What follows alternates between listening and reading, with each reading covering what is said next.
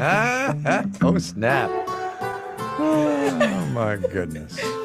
Okay, well, welcome everyone to Make Me Smart. I'm Kimberly Adams, and we attempt to make today make sense over here. The ever youthful Kimberly Adams. I'm Kai Ryssdal. Thanks to everybody for joining us on the YouTube live stream. We got Discord going. We got, uh, if you're on the pod later on, we're going to do some economics on tap. A little something different today. We're going to do news. Uh, we'll do a little, uh, what are you drinking? We'll do a little uh, half full, half empty. And the thing uh, that we're going to try is during half full, half empty, going to ask for a little audience participation for those of you on the live stream. So, look, if you're listening to this not on Friday afternoon, sadly, ignore that part, I suppose. Um, but if you're on the live stream, we're going to have a thing for you. Okay. All right. Okay. Good. Anyway, what are you drinking? Uh, well, first, let me just address lots of people in the YouTube chat are asking What? about my shattered glass situation yesterday. Oh, Um, yeah. There is still no answer. I, you know, nothing else is damaged or broken or moved or anything. I suspect it may have been the fire alarms that shattered it with Don't- don't- noise, but I, it feels That, that would have to be really loud. That would have to be It's really loud. extremely loud. It's extremely loud. But anyway, Do any of your neighbors? What am I? Uh, to their ears. Uh, several Oh, well, people's pets, you know, have problems, Oh, but alright. we will see. Like Alright, I posted go on the message board and nobody seemed surprised. Okay.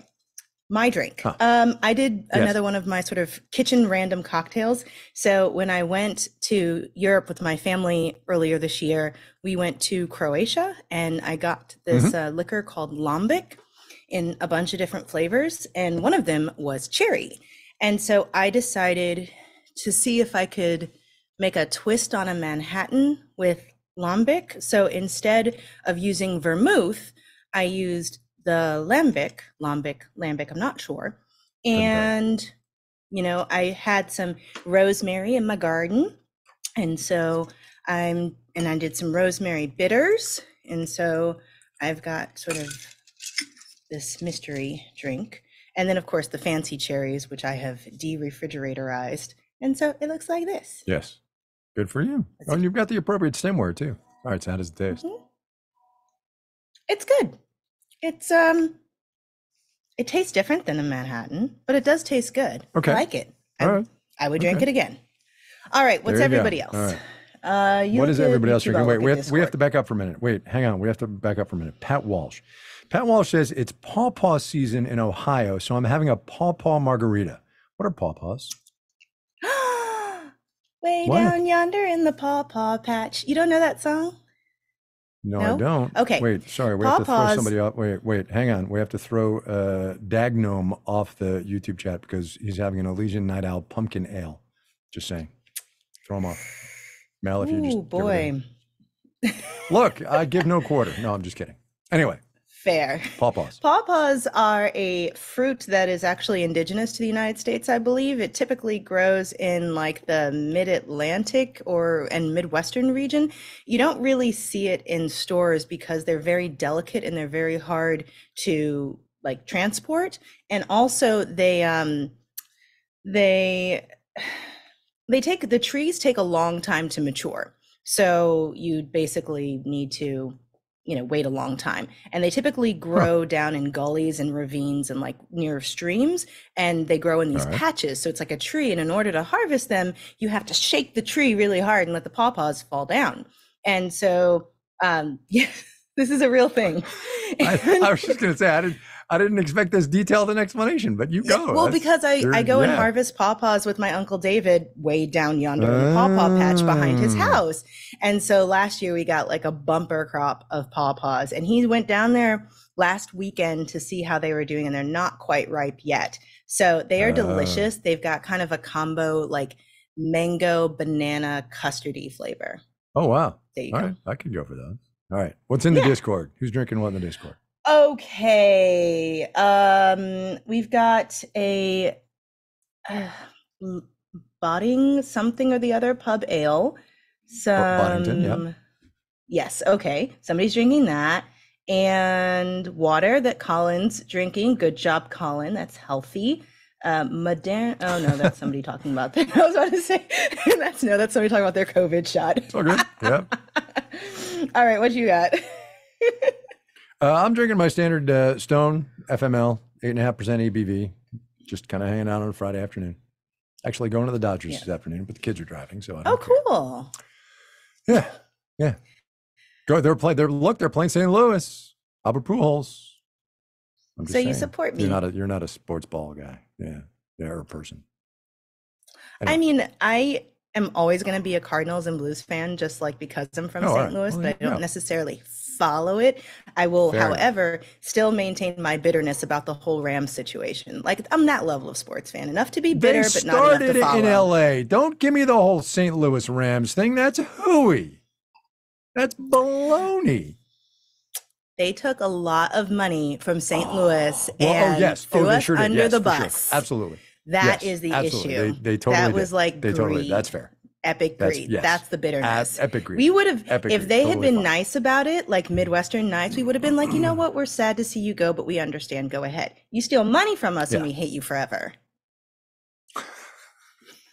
That's the, the title of this episode. You steal money from us, we hate you forever. All right. So let's do some news. You go first. Holy cow. My goodness. Okay. yeah, we're like done with the podcast and haven't gotten to the news. Yeah, okay, right. really quickly. So back in January, remember that huge volcanic eruption near Tonga that made that massive Mm. Yes, cloud and everything like that, knocked off the internet forever?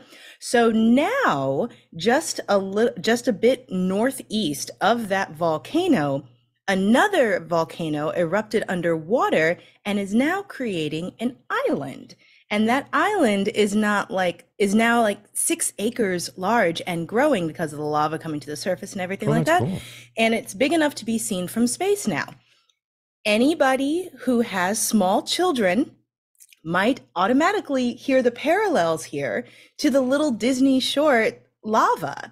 So there's this little movie that Disney did about a vol and it has a song that goes with it where a big volcano is like all alone in the ocean and he's singing this song about being alone and another underwater volcano can hear him under underwater and ev- eventually erupts and comes to the surface but by then the big volcano has already erupted and gone down and so like it's real life but they end up Wow, together in the end that's cool. but it's very cute but it's like That's cool. really what happened in the short is happening in real life so The anyway ever expanding it's planet. cute. Very cool.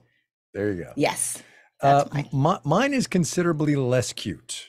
Uh, and I apologize for that. But, you know, I'm an economics for it. reporter and the economy right now is not very cute. So. I I was prompted uh, to mention this by a tweet from Neil Irwin, formerly of the Washington Post, formerly of the New York Times, and now at Axios, where he is uh, chief economics correspondent. I believe that's his title. Anyway, super experienced guy in watching the global economy. And here's what he said today, this morning. It feels like today might turn out to be a momentous day in economic financial history in ways that aren't known to the vast majority of people at the time. A wee bit August the 9th, 2007 ish. So let me back up for a minute. August the 9th of 2007 is when the very first inklings of uh, the subprime mortgage debacle became clear. When uh, a money market fund or a mutual fund actually um, uh, decided that it wasn't going to be able to it stopped withdrawals, right? And and it just got uglier from there, as we all know. Here's why Neil said that, and I would just expand that to say this week. Here's the challenge: the Federal Reserve, as we all know, raised interest rates today, uh, this week, um, 75 basis points, three quarters of one percent. The thing is that basically every other major central bank in the world also raised interest rates except the Bank of Japan, right? Hmm. Sweden, Norway, Switzerland, the Bank of England, the European Central Bank will, in a couple of weeks, certainly raise interest rates. And they will say something on the order of, we're going to keep going as long as we need to. And the Federal Reserve this week, Jay Powell said, we're going to do this as long as we need to. So we have a huge amount of economic, fiscal, of monetary policy tightening, right? They are making money more expensive on purpose. That presents two problems. Number one, interest rates have been at or below zero for the better part of 15 years in most developed economies. Okay. So money has been basically free. And now money's getting more expensive. And people have borrowed boatloads of free money. And they're going to have to start paying it back when money is more expensive. And that obviously becomes really challenging. Right. That's item number one. Item number two is that when that happens, economic activity slows down. And since the tightening is happening globally, economic activity globally will slow down. So the idea that you've heard on marketplace and other places for a very long time about a soft landing, that's out the window. And I just want to make sure everybody knows that. That's I it. saw a tweet yesterday, and forgive me if this turns out to be patently false, but someone was saying that somebody who buys a house today for somewhere in the 300,000s will probably have roughly the same mortgage payment as somebody who bought a house in the 600,000s like last year. Right. So that's that's what I was talking about earlier this week, the monthly nut, right? Those Mhm. payments because inter- I mean the 30 year now a week ago the 30 year average was uh, sorry, 2 weeks ago, the week ended the 15th. So it's a week ago, sorry. Was 6.02%. That's from Freddie Mac, the big mortgage conglomerate, right? This week 6.29%. So that's up a whole quarter of a percentage point in a week. And that to Mhm. your monthly payment is enormous. Yep. Yep. So sure. buckle up. Buckle buckle up. up. All right, everybody. Let's see. Right. What's next? Well, you were the downer That's okay. yesterday. I'm the downer today, I guess. You know what? We balance the downing. Yes. That's right. We balance the downing. That's right. That's right. All right, Drew.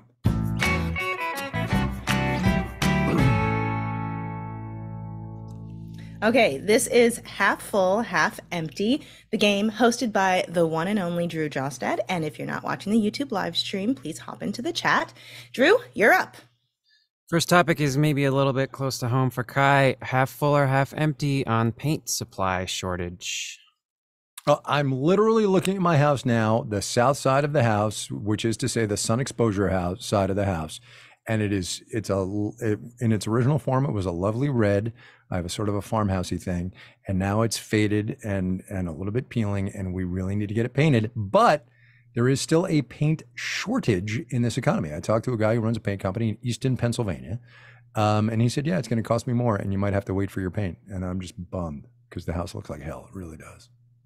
Sorry. That's so interesting. One of my good friends is getting ready to paint her house, and she was saying that uh, all these companies that were took forever to get on the calendar like a couple of months ago are now Yep. suddenly available because lots of people are putting these kinds of big projects on hold for fear of a potential recession and tightening up their spending and all that stuff. Oh, and she hasn't mentioned that, but she did mention how expensive it was. So maybe that's why. I'm Mhm. going to go half empty. I mean, it's another one of these signs Yeah. of, of where the economy is going. So that's where I am. I, I th- yeah, I think it. Yes, totally. And just on your point about another sign, I think it's really important that, and, and I tried to do this on marketplace from time to time, but it's really important we all sort of stow these little markers in our mind so that nobody's surprised when the recession happens, right? Because that's how you tell what's going on. You pay attention to the little markers and you remember them, and you're like, oh yeah, that happened a week ago. This is happening now, so X, Y, and Z are going to happen, and that's just the way to do it.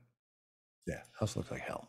Anyway, true. okay, what's next? Half full or half empty on the IRS modernizing or attempting to modernize by hiring 5,000 new customer service representatives. Full? Half Yeah, full? No, I'm all the way. Full. You know what? I'm going to say half full because good luck hiring right now. Well, yeah, fair finding point. those But people. sorry, I'm just yeah, I'm just googling uncollected taxes in the United States Mm. because okay. we leave uh IRS chief, and this is a year ago. IRS chief says one trillion dollars in taxes goes uncollected every year. So you got to hire people. You got to spend money to make money. I'm all This the way. is true, but these are customer service people, not investigators, which is what they need to get that other problem. Well, yeah, but you know, I'll, I'll take a Yeah, start, all- a small start. yeah, You know, it's all progress. Yeah. yes. all right, what's all next, progress. Drew? Half full or half empty on the influence of memes in politics. This was such a good interview. all the way empty. oh my gosh. So we interviewed um, the author of this book called Meme Wars on the Tech Show this week. And she was talking about how um, the use of political memes is basically destroying democracy and how content moderation struggles to adapt to them and all the different ways that they flourish online and how a meme is kind of the, the, the most interesting part of that interview was when she said oh go ahead kai No, I was I was agreeing with what you were about to say because this absolutely was the most interesting part of the interview. Go ahead, you do it. Okay. was your interview. was that a meme is effective because it immediately on in a visual way creates an in and an out group either you think the image is funny and you get it and you're willing to share it or you're not and the people who don't Right. get it and are sensitive to it those are just like stupid people or we don't like them and Yep. without even having a conversation you split you make the divide and you put people in camps and it that was really fascinating what were you going to say was the most interesting No, that's literally what I was going to say. It was fa- it was Hmm. totally fascinating. It was a, it was a great interview, and honestly, it should have been more than whatever it was, three minutes and fifty seconds. Yeah. maybe we'll run it when i'm hosting pm next time There you go. There you go. all right what's next drew oh wait we didn't say half full or half empty sorry uh i'm Oh. gonna go half empty um because it's bad Yeah. Yep. Totally agree. Half empty. All right. Um, reading from The Guardian here, the GIF search engine Giphy, in a filing with the UK's competition regulator, said that GIFs have, quote, fallen out of fashion as a content form and are for boomers and cringe. Are you half right, full or half empty? Oh my God. So sorry. Very mini rant coming here. Number one, it's GIF. I will die on this hill. Number two, GIFs are bull. They're just easy and facile. And I just, yeah. Okay, that's where I am. That's it. Notice I didn't i swear, am Bridget. You're cringe welcome. because i love them i send many gifs or gifs or giffies in the marketplace slack all the time. There's one that's like a little goat running up to you and then it says hi i love that one. There's one when a little dog pops up out of like blankets love that one. There are many many gifs i am cringe. I am gonna own it but i love me a good gif gif. And i am not a boomer and so I appreciate the that anybody will say whatever they can in a legal filing to get their stuff done, but uh, I I fully appreciate them and I enjoy them.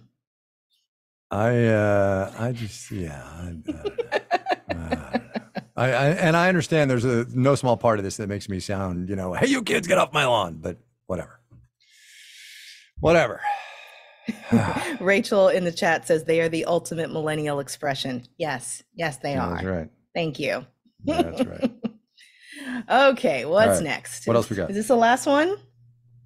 Yeah, do you want to? Should I should I Right, get Yes, the this topic? is the last one. Okay. No, no, no. I want Kimberly everybody to get ready. yeah, so before we give the Yeah. answer to this one, if you're listening live via the YouTube or live stream, we are going to put a poll in the chat and you can tell us if you're half full or half empty on this one. So that way we know a better than me trying to skim the comments uh, how you all feel about it. So look out for the poll if you're on the YouTube chat.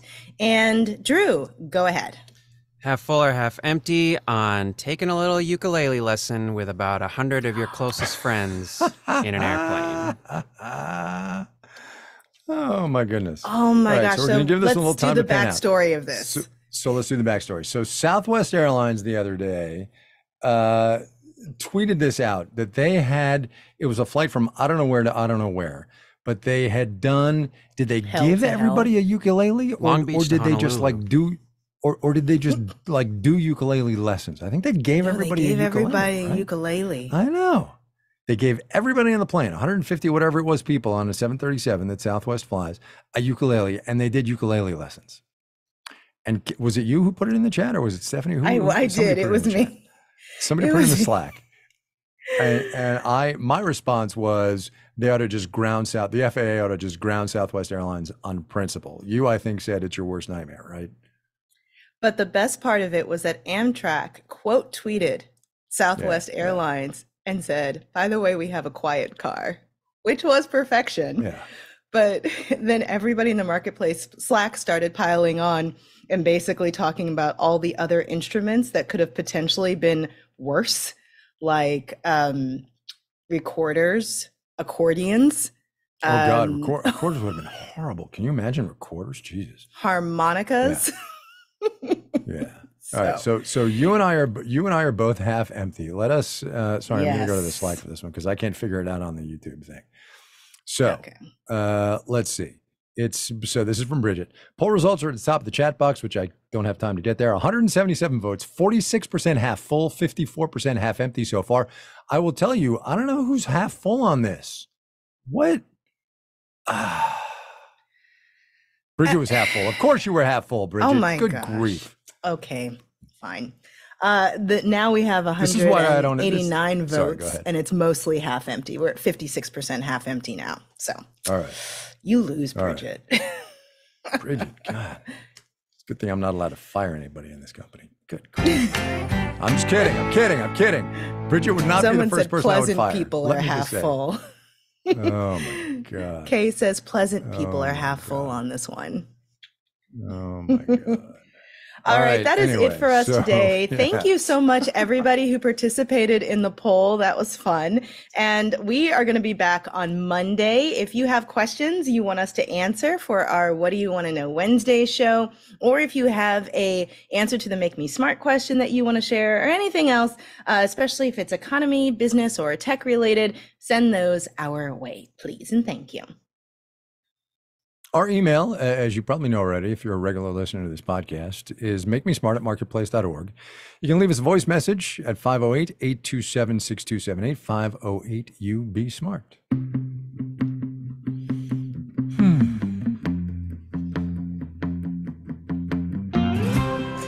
Make Me Smart is produced by Marissa Cabrera. Today's episode was engineered by, engineered by Drew Jostad, and the senior producer is Bridget Bodnar.